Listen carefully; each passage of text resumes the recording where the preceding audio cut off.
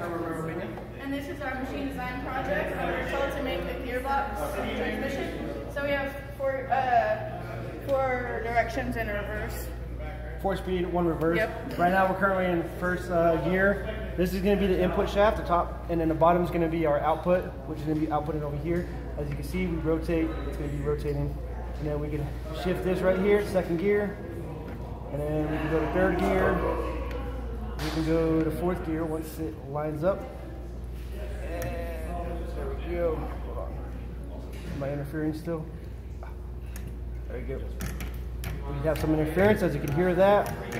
That's because if you notice, some of our gears are kind of warped, so we will have some interference. Right here is going to be the final uh, gear, which is reverse. We have our gear right here, we have the idler, and then we have our other gear at the end. So we spin it, and which causes the shaft to rotate in the other direction.